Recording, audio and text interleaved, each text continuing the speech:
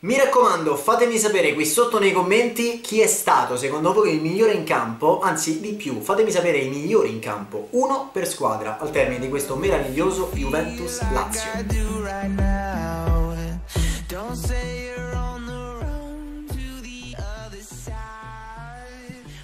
Buonasera ragazzuoli, buonasera e bentornati sul mio canale YouTube, benvenuti in questa live in onore di Juventus Lazio. 34esima giornata di Serie A, una stagione particolare, 2019-2020, una sfida particolare e importante, perché eh, se pensiamo a quello che immaginavamo un mese, due mesi, tre mesi fa, beh, questa doveva essere la partita scudetto, la partita clou che ci avrebbe fatto capire chi avrebbe poi vinto lo scudetto, anche perché prima del lockdown c'era un punto a dividere queste due squadre in classifica. Oggi i punti sono di più, molti di più. Oggi forse la Lazio non è la rivale diretta eh, per lo scudetto nei confronti della Juventus, che sembra saldamente al comando. Nonostante i problemi, nonostante le sconfitte, nonostante un po' tutto, i bianconeri sembrano essere favoriti stasera e soprattutto favoriti anche quest'anno per il titolo finale. Fate un pronostico, fate un pronostico nei commenti, io vi dico la mia. Ve la dico? Siamo sicuri? Beh, allora io vi dico che secondo me finisce 2-1 per la Juve.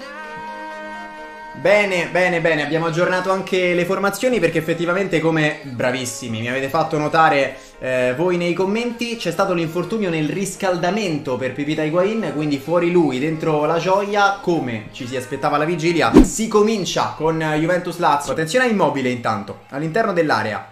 All'indietro il suggerimento per Anderson, orizzontalmente chiama avanti Cataldi che cerca un'idea, riapre su immobile, corsia di sinistra, lato corto dell'area, grande imbucata per Caicedo che voleva il sinistro e ha salvato tutto. Bonucci, invenzione di Ciro Immobile per Felipe Caicedo, pallone geniale tra le linee per il taglio del 20, così come è stata provvidenziale la chiusura in calcio d'angolo da parte di Leonardo Bonucci. E allora calcio di punizione Juve con il sinistro a cercare Delict, a trovare proprio il 4 che gira dentro e palo! Palo clamoroso da parte di Alexandro, se non ho visto male, è successo di tutto, perché la palla era corta per Delict, ma è stata allontanata male dalla retroguardia biancoceleste e quindi il 4 ha rigiocato dentro per eh, Alexandro che di testa ha colpito il legno alla sinistra di Stracoscia. Ma attenzione alla Lazio che spaventa ancora con Immobile che prende il palo da casa sua.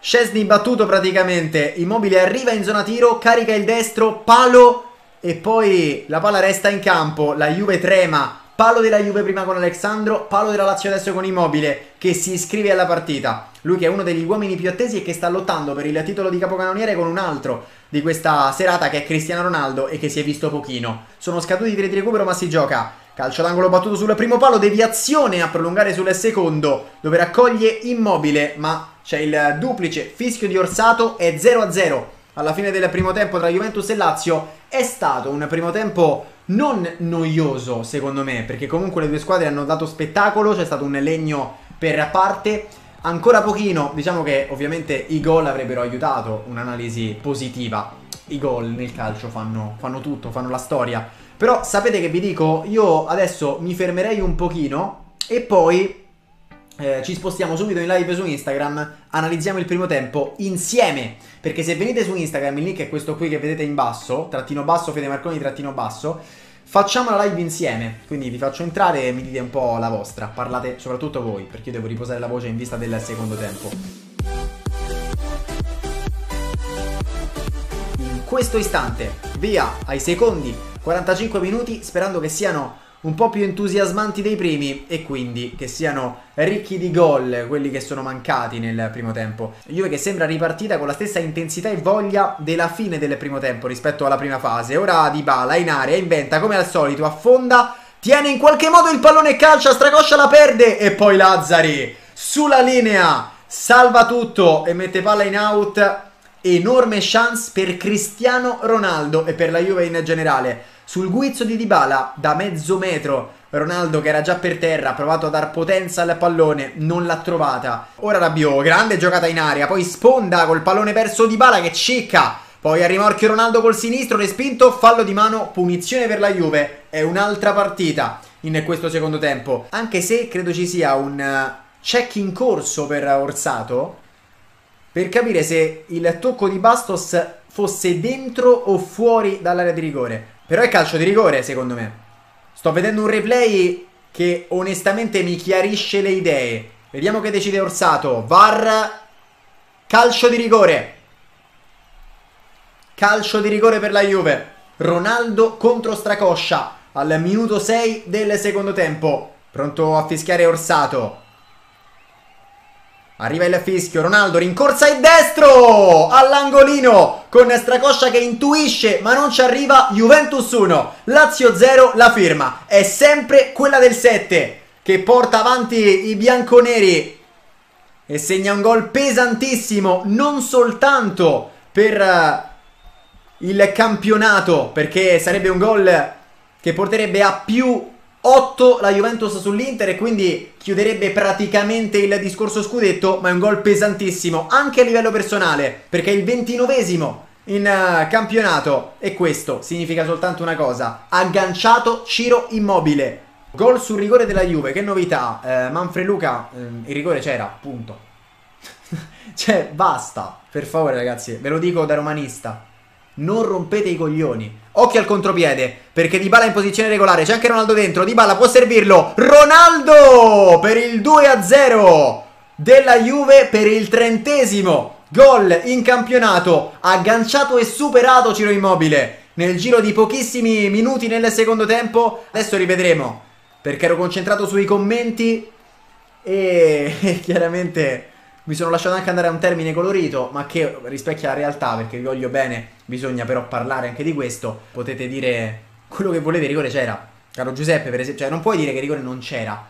È oggettivo. Sì, era rigore. Era rigore. Non possiamo mettere in discussione qualsiasi cosa soltanto perché una squadra ha le maglie a strisce, ha la maglia a strisce bianco-nere. Non esiste. Il rigore era sacrosanto, punto. Se non avete visto e mi chiedete, io vi dico con molta serenità, Ok, allora rigore c'era perché il fallo di mano è mm, netto, Ronaldo tira di sinistro, Bastos sta così col gomito, la prende di gomito e calcio di rigore, ok? Se invece una, una, persona che ha visto il calcio di rigore mi scrive, eh vabbè ma rubano, eh vabbè ma campionato falsato, eh vabbè ma gioca a qualcos'altro, cioè guarda il cricket, vai a pesca, non guardare il calcio che ti fa male.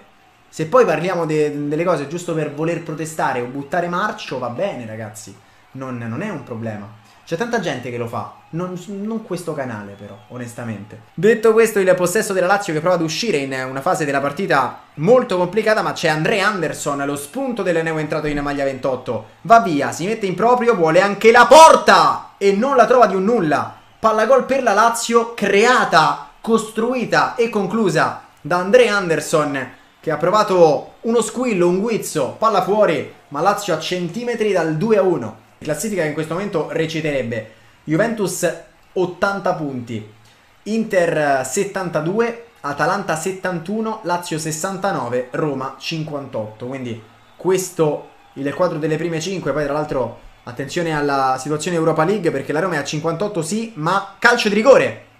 Ma calcio di rigore per la Lazio, ingenuità clamorosa. Clamorosa da parte di Bonucci che prende il giallo. Era solo e doveva tornare da Scesni.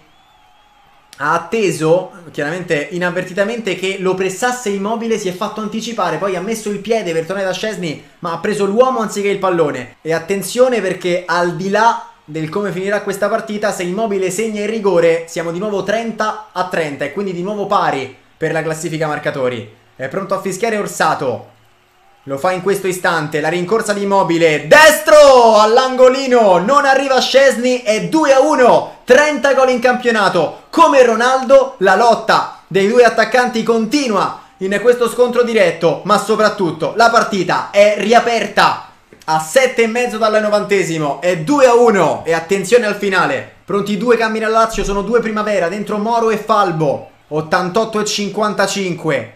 Dentro Moro e Falbo che sono due fantasisti, uno è un difensore, l'altro, o meglio uno è un centrocampista, l'altro è un fantasista. Punizione in porta con Scesni che vola! Con Scesni che vola! Sul destro, credo di Milinkovic Savic. Siamo al 95esimo adesso, rimessa con quadrato, si attende soltanto il fischio finale di Orsato, che non arriva ancora. Lotta Rabiot a tenere il pallone, poi Parolo glielo strappa. C'è ancora Juve in attacco però con l'inserimento di Rabiot, la palla in qualche modo passa, Vavro ad allontanare Lazio che vuole il contropiede, Orsato non fischia ancora, ma la Juve ha il pallone e conta questo, perché la Lazio non può più impensierire i bianconeri. Palla ancora a cercare Cristiano Ronaldo che lavora bene. Difende su Bastos, gira per Quadrato che vuole mettersi in moto anzi Matuidi, lo fa come al solito poco coordinato, molto goffo, non tiene il pallone, ma in questo momento conta zero perché Stracoscia rinvia, siamo al 96esimo, non fischia ancora Orsato. Si sbracciano i bianconeri, c'è rimessa per la Lazio. Adesso guarda il cronometro Orsato ma il fischietto non è ancora in bocca, incredibile, incredibile. Sarri non ne può più.